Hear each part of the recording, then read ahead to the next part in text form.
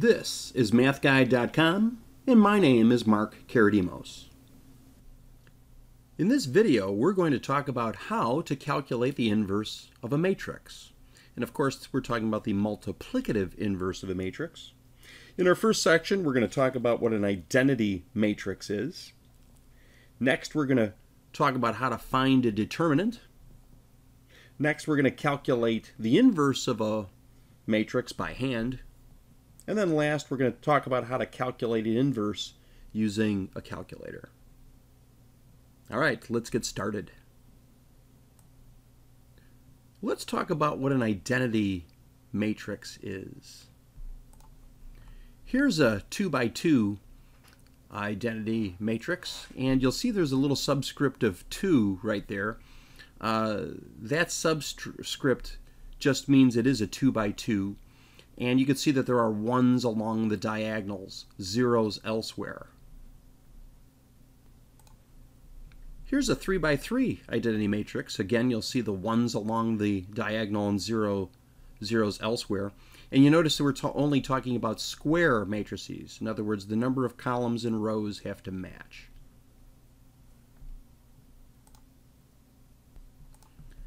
The neat property about identity matrices is that when you multiply a matrix times its inverse, notice that here I have matrix A, and that little negative 1 isn't means that it is an inverse. So anytime I multiply the inverse of a matrix times the matrix itself, and it doesn't matter how I arrange it. I could put A times A inverse, I could put A inverse times A, but when I multiply, I get these I get these identity matrices. It's important to understand this property in order to fully understand what the inverse of a matrix is. Let's move on to our next section. So let's find some determinants. So you can see I started off with a matrix H. It is a 2 by 2 matrix. And uh, again, you can only find the de determinants of square matrices. And in order to calculate the determinant, it only requires a few products. So the first thing we do is calculate this product first this diagonal that goes down to the right. So we're going to multiply 6 times negative 2. then we're going to multiply the other diagonal, 4 times 1. We'll find these two products and then we're going to subtract. So here I'm going to get a negative 12 and I'm going to subtract 4. And that's the same thing as negative 12 plus negative 4 which is negative 16. Let's try another one. So here's another matrix. This is matrix K, another square matrix. You cannot find the determinant if it's not square. So the number of columns and number of rows have to match. So let's multiply this first diagonal. So negative 5 times 3. And then we're going to multiply 8 times negative 2. And then we're going to subtract these products. I'm going to subtract multiply here, I get negative 16.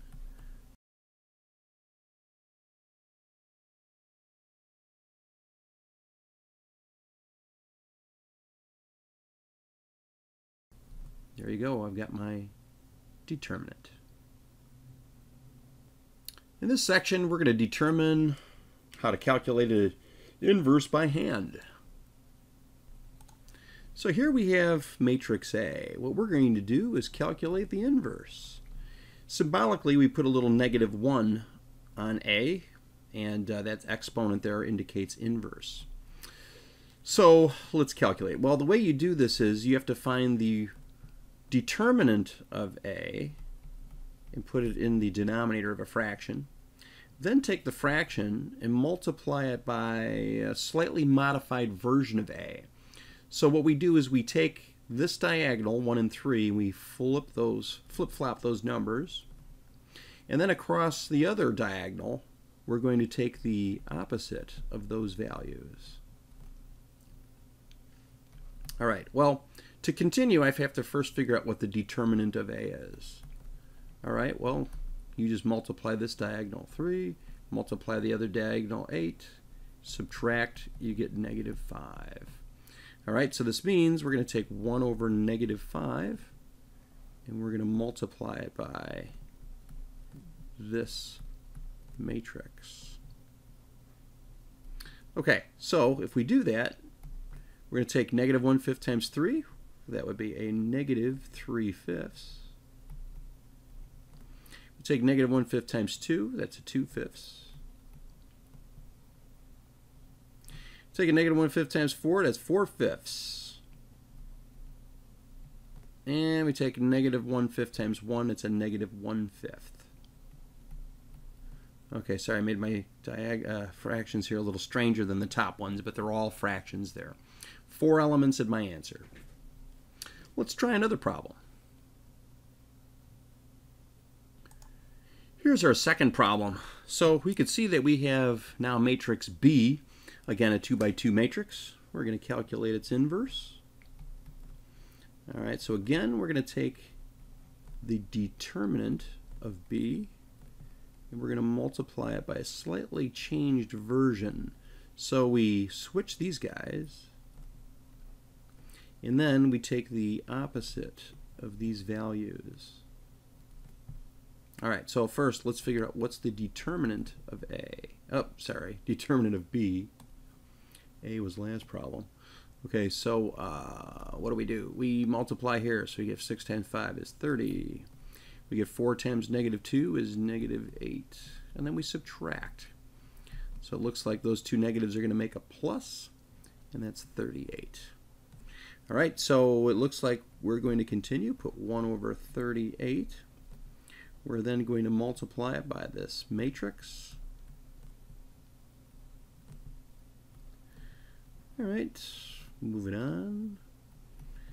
Our inverse B is going to be, let's see, 3 eighths times 5 is 5 eighths. Sorry, 5 30 eighths.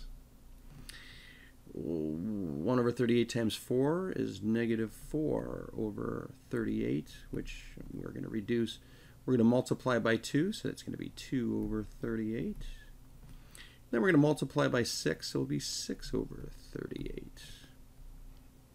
All right, so our last step, we could reduce some of these fractions. Right, cannot reduce to 5 38ths. Here we're going to get a 2 19ths. Here we're going to get a 1 19th. Here we're going to get, let's see, a 319s. Yep, can't reduce it any more than that. And there you go. We've got our answer.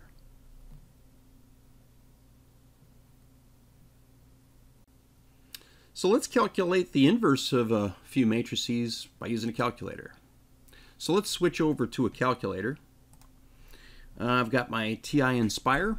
So the first thing I want to do is pull up a matrix. Now I click on this button here. Some calculators a little different.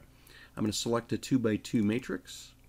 Uh, because I'm using a calculator, I'm not going to be right now too picky about my numbers.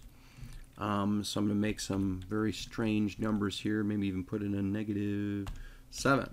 Now let's make that one of 6. Okay, so let's say I got a matrix here and I want to calculate its inverse. So what I want to do, of course, is raise this to the negative 1 power. Okay, so I raise this to negative 1 power, and honestly, I just press enter. And there you go, it calculates the inverse. So the key is just to put a negative 1 exponent. I could even do matrices that are larger. Okay, so let's say I take a 3 by 3. Now, uh, again, I'm just going to plug in numbers here, and I'm just willy-nilly plugging in numbers um, because most inverses have, most matrices that is, have an inverse. There are some matrices that don't have inverses, and those are the matrices that have a determinant of 0. Okay, but the odds of me creating one that's going to have a determinant of 0 are so low, okay, that I'm not even going to be worried about it.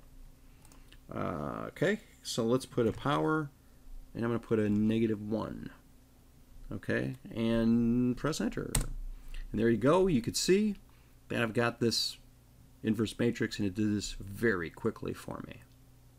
These calculators are awesome. Okay, so uh, you want to make sure you go back to Math Guide, check out our other instructional videos, interactive quizzes, and text-based lessons. Take care.